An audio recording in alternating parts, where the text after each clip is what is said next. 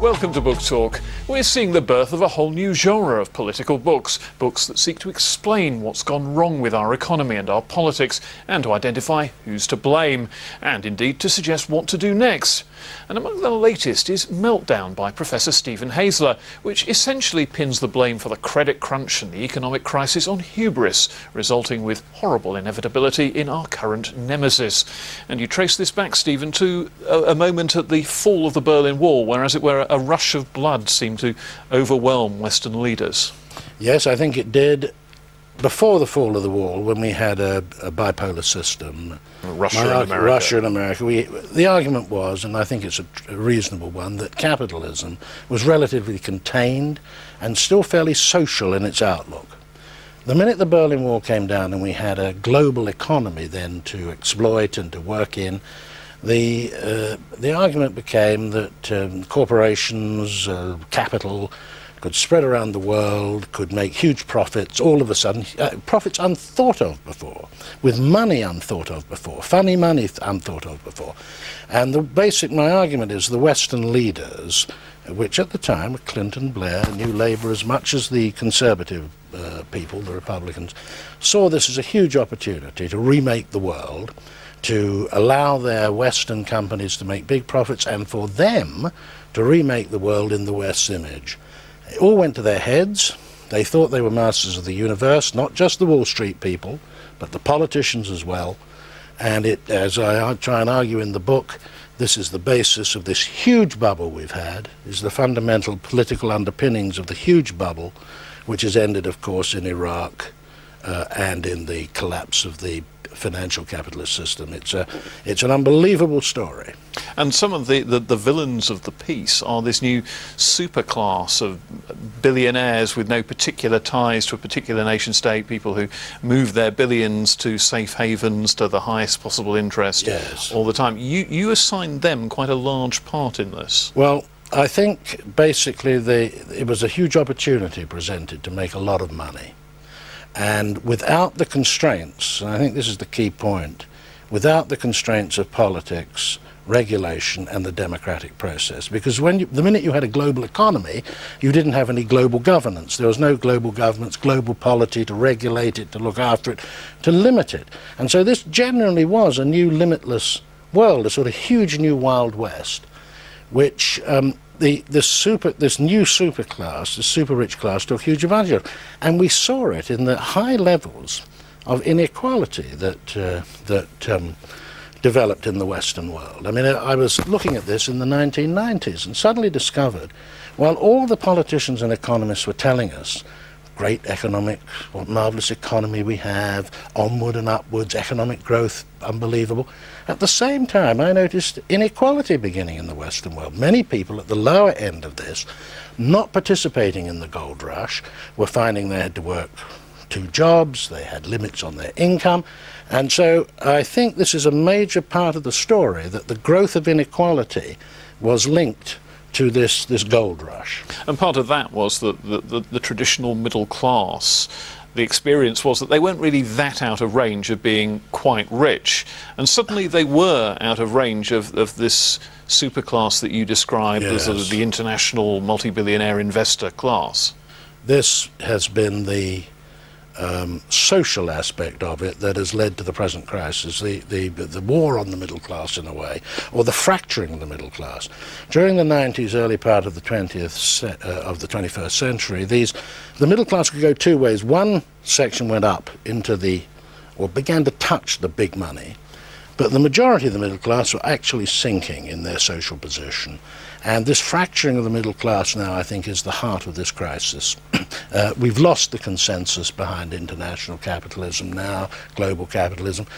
Middle class, if we take the American example, you have to ask yourself, how does a black, liberal, extreme, quite quite liberal president, the with the most most liberal voting record, how does a, a, a, guy like Barack Obama actually win an American presidential contest? Unthinkable before thinkable now because the middle class are really up against it and looking for radical changes, which he represents. And I believe the same is happening in this country too, but I think we're a bit of a time lag here. And, and part of that, I suppose, is because the uh, the superclass that we've been talking about has stopped being the aspirational figures and have started being the villains of the piece. Uh, you link them very strongly to the speculative bubble that's now burst, that's wreaking such havoc in the world economy. Yes, um, uh, the, the, there's no longer the old capitalist system whereby, or the old capitalist values. You made money the, you know, by hard work, innovation, creativity. Now, there's not much creativity about this. This is just sitting on capital and shoveling it around the world, uh, often through the carry trade, often through um, uh, moving between one regulatory system and another, which is quite easy to do. You know, it's not difficult to be a very big-time capitalist now. Could politicians have ever damned, stopped, moderated this process? Because, you, I mean, Tony Blair, Bill Clinton, Alan Greenspan, the head of the US Federal Reserve for much of this period, get a very bad press in your book. Could they actually ever have stopped this or even uh, ameliorated it? I look at the career of Bill Clinton and Blair, which I consider to be very similar. These are men of the left, ostensibly. They're men of the left who come into politics in the 90s, Clinton at the beginning, Blair at the end. What are they talking about? If you look at their language, they're talking about equality, they're talking about modernity, they're talking about meritocracy. They come in and they basically do a deal with the super rich class. I mean, I think that's what fundamentally happened. Uh, and I, I, my argument was they didn't have to. But they did, uh, and uh, in a way, that is what's now caused the problems for New Labour because New Labour made its Faustian bargain with these guys. What was the bargain then? We'll not tax you. We'll not deal with the whole problem of inequality that's growing. We'll be, and to use the famous term, supremely relaxed about very rich people. Uh, in return for that, well, I don't know what they get in return for that.